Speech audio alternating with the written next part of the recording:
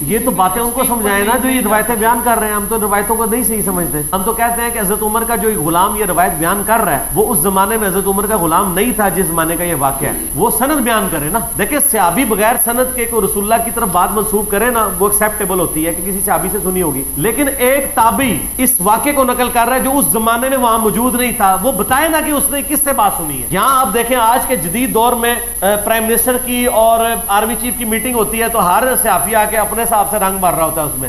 اور بات کچھ کی کچھ نکل آتی ہے۔ تو اس زمانے میں جبکہ میڈیا بھی نہیں تھا، تو کس طریقے سے یہ اندر کی وہ پوری کی پوری باتیں یہ لوگ نکالتے پھر رہے؟ ہیں اپنی طرف سے کہہ دیا کہ جناب یہ بزا ہے قذاب ہے، محدثین کے اصولوں پر بات کریں اور محدثین کے اصولوں پر آپ اسے من گڑت ثابت کیجیے تو ہم بھی مانیں گے کہ جناب آپ اصولوں کے مطابق بات کر رہے ہیں۔ ایک جانب تو آپ اصول پیش کرتے ہیں اور دوسری جانب پھر آپ خود ہی ان اصولوں کی دھجیاں اڑا رہے ہوتے ہیں۔ اب جو بات میں آپ سے کہنے جا رہا ہوں، مرزا صاحب، شاید آپ نے یہ روایت پڑھی نہیں ہوگی اور آپ کو اس طرح کی پھکی اور انجیکشن کسی نے لگایا ہی نہیں ہوگا۔ ناظرین کرام یہ روایت صحیح بخاری کے اندر اسی سند کے ساتھ موجود ہے۔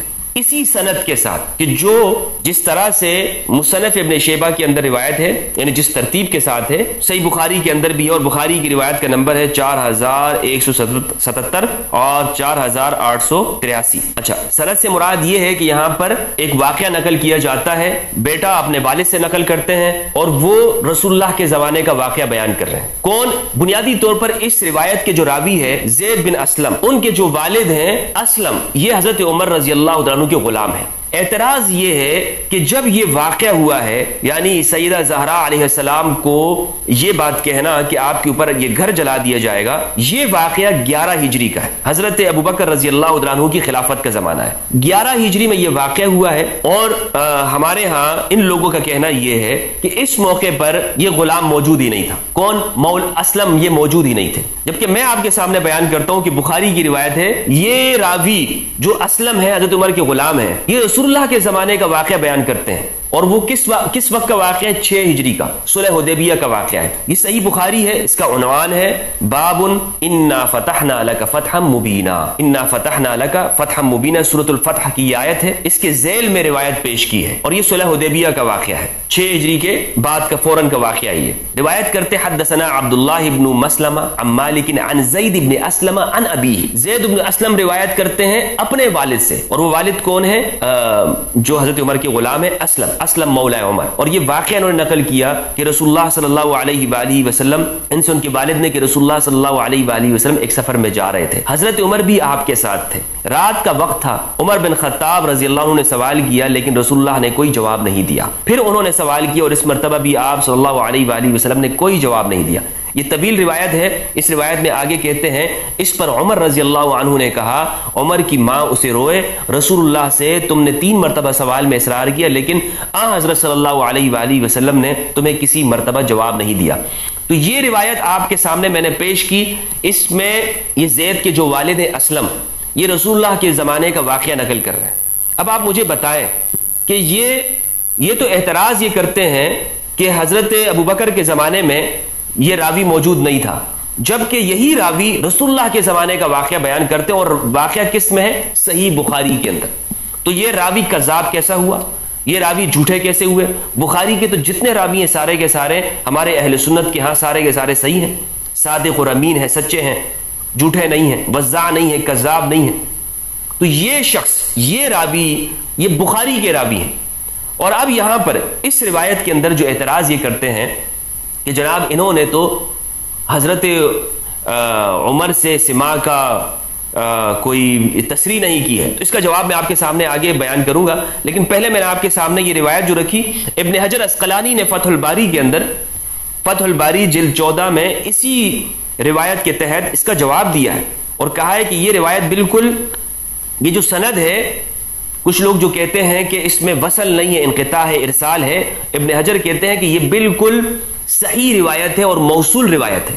ابن حجر نے اس کا جواب یہ دیا کہ یہ واقعہ حضرت عمر نے ان کے سامنے بیان کیا۔ اب یہ چیز آہستہ آہستہ آپ کے سامنے صورتحال کچھ واضح ہوتی چلی جائے گی۔ میں دوبارہ سے آپ کے سامنے یہ بات پیش کرتا ہوں کہ بعض لوگ یہ کہتے ہیں کہ یہ جو واقعہ نقل کیا ہے، دھمکی دینے والا واقعہ اس میں جو اصل راوی ہے اسلم۔ یہ اس زمانے کے اندر موجود نہیں تھا۔ اور یہ زمانہ واقعہ کس زمانے کا ہے؟ کس عرصے کا ہے؟ گیارہ ہجری کا۔ اور یہ شخص بارہ ہجری کے اندر حضرت عمر کی ملکیت میں آیا ہے۔ تو ایک سال کا فرق ہے۔ این موقع کے اوپر یہ اینی شاہد نہیں ہے تو پھر یہ واقعہ کیسے بیان کرتا ہے؟ لہٰذا یہ واقعہ جھوٹا ہے، من گڑت ہے، بے اصل ہے، اس کی کوئی حقیقت نہیں ہے۔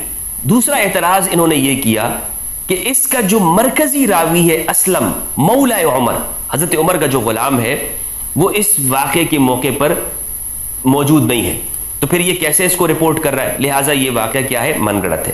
اس کا جواب میں آپ کو یہ دیتا چلوں کہ ابن حجر اسقلانی رحمہ اللہ نے اپنی کتاب تقریب التہذیب کے اندر چار سو چھ نمبر پر اس راوی کے حالات میں یہ بات لکھی ہے کہ اسلم مولا عمر، یہ مخدرم صحابی ہے۔ یہ کون سا صحابی ہے؟ مخدرم صحابی ہے اور یہ سقہ راوی ہے۔ اب یہ مخدرم کون سے لوگ ہوتے ہیں؟ مخدرمین یہ وہ لوگ ہیں، بلکہ اس کی تعریف میں آپ کے سامنے محدثین سے ہی پیش کرتا ہوں۔ فتح المغیث جل چار، صفحہ ایک سو اٹھاون ون ففٹی ایٹ پر۔ مخدرم کی تعریف یہ کرتے ہیں، تعریف المخدرمی وعددہ۔ مخدرم کی تعریف اور ان کی تعداد۔ کہتے ہیں کہ یہ وہ لوگ ہیں کہ جو زمانہ جاہلیت کے اندر موجود ہوں اور آپ صلی اللہ علیہ وآلہ وسلم کی بیست کے بعد بھی یہ موجود ہے۔ یعنی رسول اللہ کے وصال کے بعد یا رسول اللہ کی بیست کے بعد۔ اور رسول اللہ کی زندگی میں انہوں نے اسلام قبول نہ کیا ہو اور بعد میں انہوں نے اسلام قبول کر لیا ہو۔ یعنی انہوں نے دونوں زمانے پائے ہیں۔ مخدرم اس شخص کو کہتے ہیں۔ یہ شخص جس کے بارے میں مرزا صاحب کہتے ہیں کہ یہ بندہ اس واقعے کے وقت میں موجود نہیں ہے۔ میں نے آپ کو بتایا کہ یہ حدیبیہ کا واقعہ بھی بیان کر رہا ہے۔ اب آپ کہہ سکتے ہیں کہ جناب یہ تو حدیبیہ میں موجود نہیں تھا، پھر یہ واقعہ کیسے بیان کر رہا ہے؟ اس کا جواب یہ ہے کہ یہ حضرت عمر سے نقل کر رہا ہے۔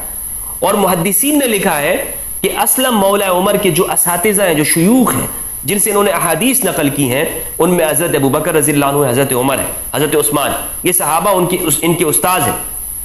یہ ان سے سن کر یہ واقعہ نقل کرتے تھے۔ اب اس کا کنکلوژن جو میں آپ کے سامنے پیش کروں گا، بہت دلچسپ ہے۔ اور یہ سارے اشکالات جو کیے جاتے ہیں، ان کا بالکل صفایا ہو جائے گا۔ تو مخدرم کے بارے میں میں نے آپ کو بتایا کہ ابن حجر نے کہا کہ یہ بندہ مخدرم ہے۔ رسول اللہ کی بیست کے بعد یہ بندہ موجود ہے اور بعد میں بھی ہے۔ بعد میں یہ شخص مسلمان ہوا، حضرت عمر کی ملکیت میں آیا اور اس نے ایک واقعہ بیان کر دیا۔ پھر جو یہ کہتے ہیں کہ راوی واقعے کے وقت میں موجود نہیں ہے، لہٰذا اس کی روایت نہیں لی جائے گی۔ تو میں آپ سے بتاتا، آپ کو بتاتا چلوں کہ محدثین کا جمہور کا جو موقف ہے وہ یہ ہے کہ ایک سقہ راوی ایک سقہ راوی اس کے لیے ایک شخص کے ساتھ معاصرت ہونا ہی کافی ہے۔ یعنی ایک زمانے کے اندر موجود ہے اور خواہ وہ اس واقعے کے وقت اینی شاید نہ ہو، لیکن اگر وہ بیان کر رہا ہے اور وہ مدلس نہیں ہے، تدلیس نہیں کرتا ہے، تو ایسے شخص کی بات کو قبول کیا جائے گا۔ اس کے بارے میں ملا علی قاری رحمہ اللہ نے مشکات المصابی کی شرح مرقات المفاتیح کے اندر حدیث نمبر چار ہزار آٹھ سو پچپن میں اس کی شرح کے اندر یہ بات لکھی ہے وَإِلَّا فَالْمُعَاصَرَةُ تَكْفِي فِي صِحَةِ الْإِتِّصَالِ عِنْدَ الْجُمْهُورِ. کہ معاصرت یعنی ایک زمانے کے اندر ایک راوی کا ہونا، یہ بات کافی ہو جاتی ہے اور یہ اتصال کے اندر اتصال کے لیے کافی ہے اور یہ جمہور کا موقف ہے۔ اور یہ جو ملاقات کا جو شیخ کے ساتھ ملاقات والی بات ہے، یہ صرف بخاری رحمہ اللہ کے ہاں ہے، باقی سب کے ہاں یہی شرط ہے کہ جناب آپ اس زمانے کے اندر ہونے چاہیے جس زمانے کے اندر یہ واقعہ ہوا ہے۔ اور آپ اس کو آگے بیان کر سکتے ہیں۔ اور آپ یہ کہہ سکتے ہیں کہ میں اس زمانے کے اندر اس واقعے کو دیکھا اور اس کو بیان کریں۔ تیسرا جو اعتراض ہے، انہوں نے یہ کیا کہ اس راوی نے سند بیان نہیں کی۔ ناظرین، آپ دیکھ رہے ہیں کہ میں نے آپ کے سامنے بخاری سے روایت پیش کر دی کہ یہ رسول اللہ کے زمانے کا واقع بھی بیان کر رہے ہیں۔ لیکن میں مرزا صاحب کی یہ خواہش بھی پوری کر دیتا ہوں کہ جناب، انہوں نے سند بیان نہیں کی ہے۔ مستدرک للحاکم، مستدرک السیحین ہے۔ مستدرک علیہ السیحین جل نمبر چار، حدیث نمبر چار ہزار سات سو چھتیس ہے۔ یہی روایت ہے جو مصنف ابن ابی شیبہ کی ہے۔ یہی سند یہاں پر اس کے اندر موجود ہے چار ہزار سات سو چھتیس میں۔ اس میں آپ دیکھیں، حدثنا مکرم ابن احمد القاضی، حدثنا احمد ابن یوسف الحمدانی، حدثنا عبد المومن ابن علی الزعفرانی، حدثنا عبد السلام ابن حرب۔ یہاں سے آگے ان عبید اللہ ابن عمر۔ نمبر ایک ان زید ابن اسلم. نمبر دو ان ابی. وہ اپنے والد سے ان عمرہ. وہ حضرت عمر رضی اللہ عنہ سے نقل کرتے ہیں۔ کیا نقل کرتے ہیں؟ انہو دخل علی فاطمہ بنت رسول اللہ صلی اللہ علیہ وآلہ وسلم، فقال، یا فاطمہ، واللہ ما رأیت احدا احب الى رسول اللہ صلی اللہ علیہ وآلہ وسلم من کی واللہ ما کان احد من الناس بعد ابی کی صلی اللہ علیہ وآلہ وسلم، احب الی من کی تو یہ جو الفاظ ہیں یہ اور مصنف نبی شیبہ کے الفاظ ایک ہیں۔ اگرچہ یہ وہاں پر مختصر روایت یہاں پر موجود ہے، لیکن سند ایک ہے۔ تو یہاں پر انہوں نے بالکل کہہ دیا کہ یہ عمر سے نقل کر رہے ہیں، عمر رضی اللہ عنہ سے۔